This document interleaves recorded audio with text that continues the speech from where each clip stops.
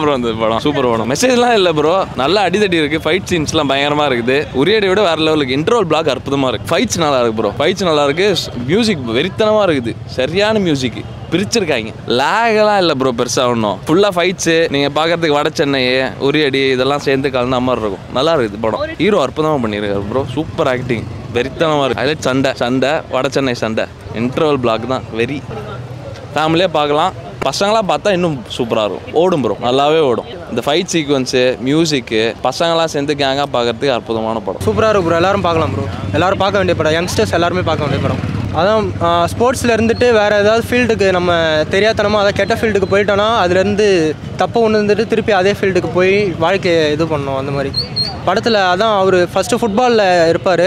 அதுக்கப்புறமா அந்த ட்ரக்ஸ்லாம் அடிக்ட் ஆகிட்டு ஃபுல்லாக சண்டை சண்டையாக போயிட்டு அப்புறம் இந்த மாதிரி நம்ம நல்லா இருந்தோமே ஸ்போர்ட்ஸில் இருக்கும்போது அப்படின்னு சொல்லி திருப்பி ஸ்போர்ட்ஸுக்கே வந்துடுவார் ஹைலைட்னா இன்டர்வல் ஹைலைட்டாக இருந்துச்சு. அது ஃபுல்லாக ஃபைட்டு தான். பஸ்ஸில் இருந்த ஒரு ஃபைட் ஒன்று வரும். அது நல்லா இருந்துச்சு. சூப்பராக இருந்துச்சு. இன்டர்வல்ஸ் அப்படி பார்க்க முடியாது. யங்ஸ்டர்ஸ்க்காக பார்க்குறோம். ஃபுல்லாக வைலன்ஸ் தான். ஃபுல்லாகவே ஃபைட்டு தான் இருக்கும். யங்ஸ்டர்ஸ்னால ஹிட் ஆகுனா லோகேஷோட ஃபஸ்ட்டு ப்ரொடக்ஷனில் நல்லா இருக்கும். யங்ஸ்டர்ஸ் பார்க்கலாம் ஃபேமிலி பார்க்க முடியாது. ஆ கண்டிப்பாக ஒர்த்து தான்.